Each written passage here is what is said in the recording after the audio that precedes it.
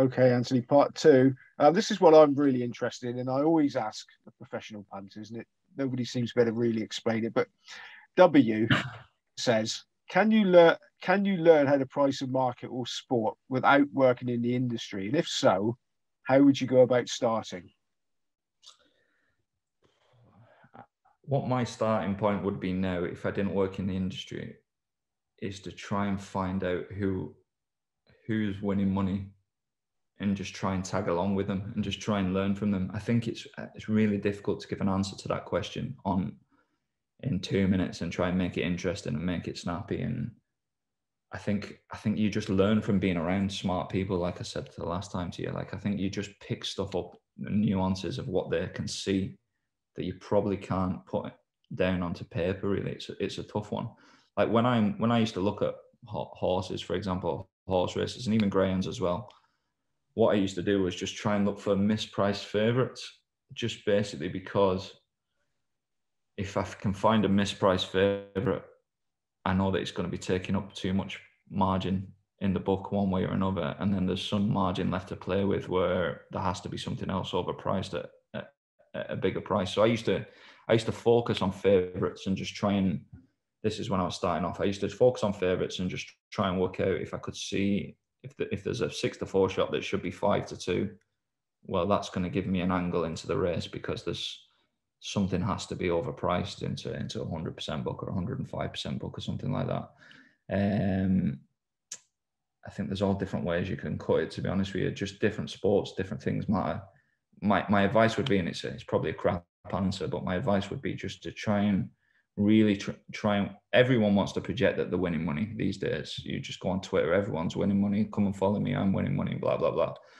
I think you just need to. A big big skill is just actually working out who has edges, and then who has edges that are scalable, and then just try and fucking learn off them is what I'd be doing. And I'm still trying to do it now. I'm still trying to learn off people. I'd love to meet people that, if I'm here and the pecking order, I want to meet people who are here that know more than me about certain things. And the only way you're going to learn it is by either offering them something or if you get someone nice enough to, to that lets you see them and tail them or if you can if you can put on bets for someone who's smarter than you and stuff like that every no no all the smart guys struggle to get bets on to a degree um, if you can get bets on for someone who's smarter than you and you know for a fact that they're smarter than you and they're going to pay if they get beat etc you can just see the bets that go through the accounts and just try and learn off them. Why has he bet that at that price? Why has he done this? And you can just try and work it out yourself, basically. But there's not many people who are going to spoon feed it to you, to be honest with you, which I think a few people seem to have wanted from my first couple of videos with you. Like uh, the, the the goose that lays the golden egg is not for sale, and you know whatever that phrase is. Like it's uh, you've got to you've got to have a bit of cop on and learn it yourself as well, and just try and pick things up off people. I think. Okay, this is from Tom Weeks. Uh, as a percentage, how much of your bets get put on through shops? Yeah, that's a good question. I don't know. Um, what would I guess? Um, I twenty percent, maybe twenty percent, maybe. Uh, but I actually don't know. I don't record it. I deal with the runners and settle up with them, but I just don't. I don't. I don't separate the two. Basically, it's just all one one big one big mash of numbers basically at the end of the week. Okay, Gareth Owen would like to know: Are most of your bets or strat or strategies long-term bets for the seasonal competition, or is it more the constant weekly bets? Uh, both. I think there's bigger edges in the long-term stuff. For example, football. Football. I know there's some people on Twitter and that Nick Goff and a few of the other people from from previously would probably bet football anti-post stuff, and I've seen a few people on my timeline since who bet football anti-post. Um, it's probably getting more efficient this year. I've had loads of anti-post bets this year as usual, but I probably haven't had as many as I have in previous years. So it's probably getting slightly more efficient. There's less bookies pricing certain markets. So everyone seems to be running a mile from the championship relegation market and League Two relegation because of football finances and things like that.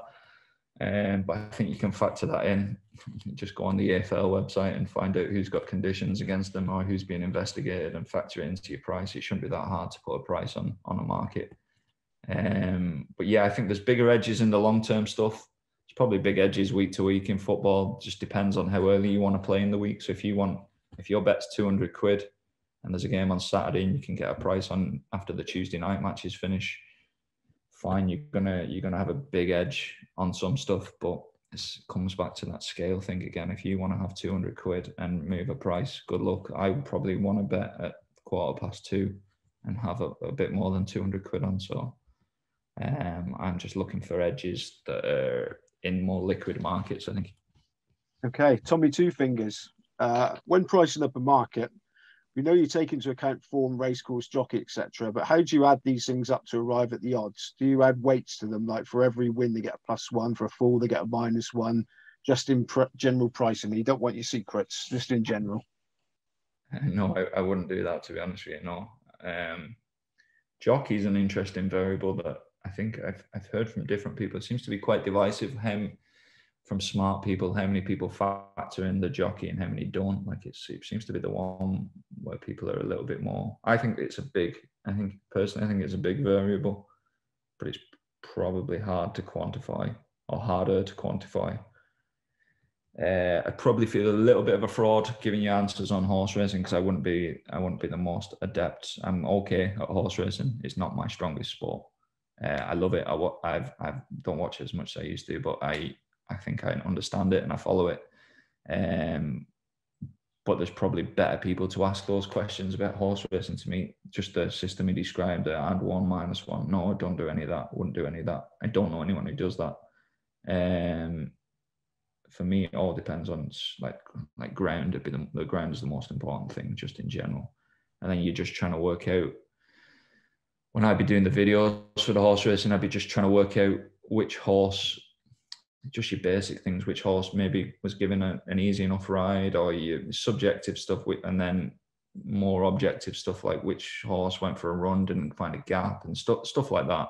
Um, where things went wrong or the pace of a race just wasn't run to suit and things like that. Um, and I'm basically just looking for something about the race that's coming up that may have been concealed either on purpose or by accident in in previous form lines basically where I can justify that a price is too big basically based on based on what I can see. And that's just tends to be just tends to be in general. Okay now I wasn't going to I'll give you any anonymous ones but this one I suppose people want to know it. Um I got to excuse my ignorance. I don't know what the second one stands for. What is your ROI return on investment and ROC I don't know what that is per year uh, ROI, I probably don't know it exactly. I'd guess about 6%, but I don't know. Um, I, I don't know how much it is exactly. I'm going to guess about 6 or 7%. Some sports would be less than that. Football matches would be less than that, but they're to higher volume. Um, there'd be some ROIs that are decent double figures, like high teens, but probably to less volume. Um, ROC. I actually don't know what that means myself as well. I've, uh, I've probably not the best finance background as well, so if someone can clarify that. But uh, yeah, ROI about six or seven percent overall, I'd say would be my guess. Okay, um, Paul Fitzgerald plus EV. This is another one I don't understand. Bets to good money, um, well before markets harden. With the subsequent operational workload and hassle it involves. Uh, seems the modus operandi here. Um, where are you opinion wise on playing in the last 10 minutes of a pre off racing football market?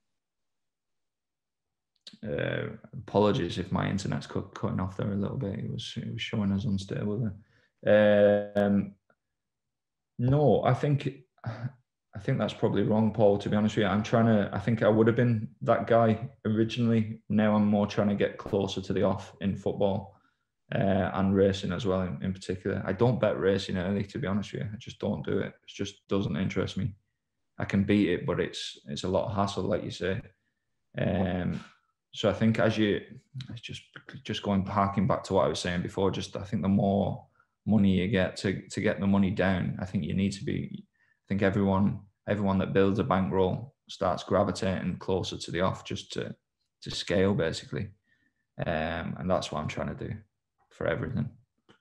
Okay, now Michael Verity would like to know how do you stay hungry to keep getting getting it after year after year. What's your ultimate motivation? And also, another question in with it: What's the longest break from punting you've taken in the last fifteen years? And do you think breaks can help freshen you up and refocus you?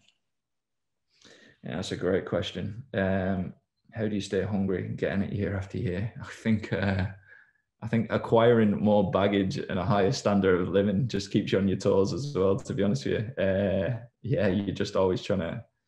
I think just as you you probably end up spending more than you used to do, and then you, I think that keeps the pressure on to a certain extent as well. Um, breaks. Oh, this is one thing I'm probably not great at. To be honest with you, I go on holiday a good bit, but like I was in Portugal recently enough, and uh, I'm just looking at. I'm still trying to I'm I am switched off to an extent, and the kids keep you active and stuff like that. But like, um, yeah, I've always got my eye on it. I can't. I, I struggle to switch off basically, and it's probably it's probably not the healthiest uh, position to be in. I, I wish I could just uh, go out for. I wish I could go away for two weeks, and I always say when I go on holiday, I'm always like I'm going to leave my phone at home, and I just never do. I, I just can't seem to make that break from actually switching off. If I left my phone at home, I'd be borrowing the missus phone on a Saturday afternoon, checking how Rotherham are getting on in League One or something like that. So uh, it's probably it's it's probably a bit of an illness and fairness. I struggle to take a break basically. Okay, this is another anonymous one, but it's a fair question. When when do you classify something as an edge? Uh, just when the price is bigger than what I make it, and then it just depends on how big that edge is to how big you bet. Yeah, it's just I'm setting my own prices and then just trying to work out it's it's one thing though. People might think I'm wrong here, and I know Ben has Ben's commented about me playing bookmaker and stuff like that. But the way I see it, right, is you make something a price. These are my prices, and if I'm a better and I'm a and I'm a punter, the way I see it is I'm looking for something where I'm getting ten percent bigger than what I make it, and I'm happy to have that bet as my edge. I think playing bookmaker for me is 10% the other side of that line. Whereas I make some at a price, I make some at eight to one, and someone wants to take 15 to two. That's I'm going to play bookmaker because it's it's two sides of the same coin. Basically, if my key is to get my prices right, that's my big thing. Get my prices right, and if they're bigger than my prices, bet them. If they're smaller than my prices, and someone else wants to bet them, lay them. And then that's just basically my opinion on it. So I think I, I differ to Ben on his opinion of punter and bookmaker. For me, it's about prices and just if they're too big or too small, uh, backing or laying them. And I think that that's just that's just my opinion on it. Okay, uh, win and each way laid would like to know how do you identify the difference between your edge no longer being an edge versus a losing run? uh, it's a good question. I think a lot of it is probably what price it closes at. Um, for some stuff. So horse racing, if I'm betting horses at 20 to 1 and the Betfair SP in 30 to 1, and I'm doing that over and over over again, I'm I'm probably in trouble. Um, I think results, good, positive and negative, can mask how good you are. The closing line is pretty is pretty good in a lot of things, and I've said it before to people like we all like we all have instances where we think a Betfair SP is wrong and things like that um, or a closing line in a particular individual game is wrong, and fair enough, we can debate that. But like, I think over a collective of ten thousand events or something, the closing line is going to be pretty much bang on overall, averaged out. And I think if you're not beating it, I think you're going to struggle, even if you're running good on your bets. I think you probably want to be just ahead of the market, just in general, at, at, at the off, um, over a big sample of bets. And I think that determines if I if I'm betting 20 to 1 shots and the Betfair SP in 14 and I lose 30 bets in a row, I'm not too fussed about it to be honest with you because I think that the market I think the market is going to correct over time if there's something I'm missing.